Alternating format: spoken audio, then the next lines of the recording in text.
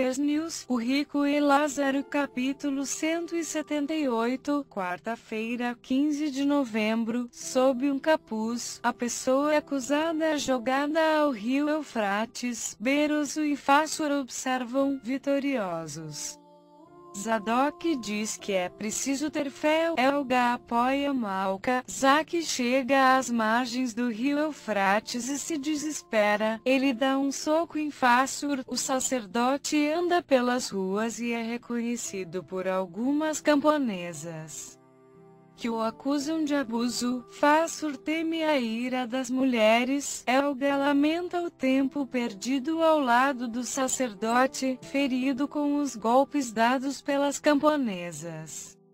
Fassur fala com Deus em um misto de pânico e ódio. Alguns abutres se aproximam dele. Em um campo, Eicher beija Joana e se perde nas lembranças.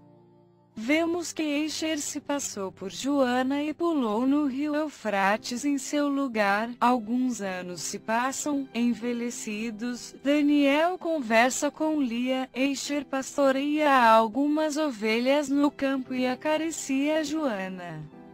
Eles estão felizes ao lado dos filhos, Abel, Diná e Marta, Lió e Benjamim com eles, amargurado e aparentando uns 50 anos. Zaque recebe ordens de Belsazar no palácio. Daniel se recorda de uma de suas visões. Ele e Lia falam do amor entre Ainoã e Labash Marduk. Nitocris aconselha Belsazar a não realizar o banquete, mas ele se mostra decidido. Absalom trabalha ao lado de seu filho e de sua filha Tamir e Shamir com os filhos, discutem com a S e esposas, vestido com vestes de rico e ao lado da esposa, Osiel avista Rabi Sares na sarjeta. Ele explica que depois da morte de Fastur prosperou nos negócios, bem mais velhos Ravina e Ilana se reúnem com os filhos, Sheg Sheg beija Arioque. As penhas Nitocris falam sobre as atrocidades cometidas por Belsazar. Lia avisa que todos no palácio estão se preparando para o banquete de Belsazar. Ravina se diverte com os familiares.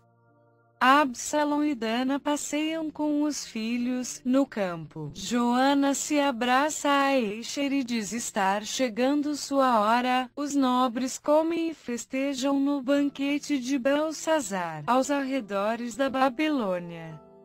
Dario e alguns oficiais observam a cidade. O general avisa que cortará a cabeça de Belsazar. Curta o vídeo. Até a próxima.